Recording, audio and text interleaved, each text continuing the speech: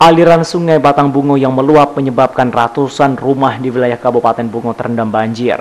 Apalagi saat ini sedang tinggi-tingginya curah hujan yang mengguyuri kota Bungo. Guna meringankan beban warga setempat yang terdampak banjir, pemerintah Dusun Purwobakti yang dipimpin oleh Datin Leni Mariani S berinisiatif mendirikan dapur umum dalam membantu warga setempat mengantisipasi kekurangan bahan makanan.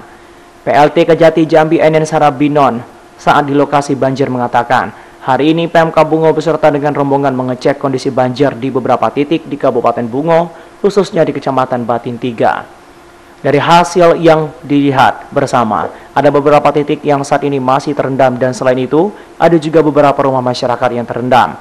Sudah berlangsung lebih kurang tiga hari yang lalu. Untuk itu, dapur umum didirikan guna menyuplai makanan bagi masyarakat yang terdampak banjir. PLT Kejati Jambi mengatakan menghimbau kepada masyarakat untuk tetap waspada terhadap banjir yang seketika bisa datang di mana pun berada dan tetap menjaga kesehatan. Saya bisa ada waktu, punya kesempatan untuk mendatangi desa apa ini? Purwobakti untuk melihat kegiatan dapur umum di sini. Alhamdulillah Bu Datinnya ini sudah apa namanya itu mengantisipasi terhadap eh, warga-warga uh, yang kena banjir sudah bisa diungsikan ke rumah-rumah warga dan juga ada pembuatan-pembuatan tenda.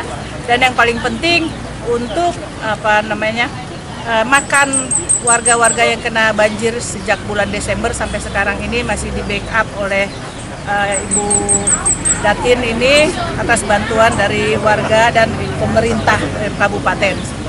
Masyarakat banjir, saya bilang ibu karena memang ibu sudah biasa mengalami banjir, sebaiknya sewaktu-waktu uh, bulan-bulan banjir untuk segera melakukan antisipasi dan uh, tetap sabar menghadapi musibah banjir yang memang biasa dihadapi setiap tahun karena memang warga di sini juga memang asli sini bertahun-tahun tinggal di sini maupun direlokasi ataupun dipindah pun keberatan.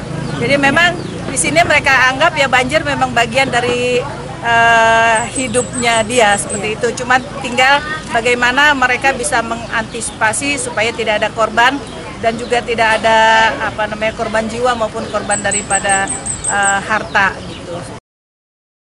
Muara Bungo, tim redaksi Bungo TV.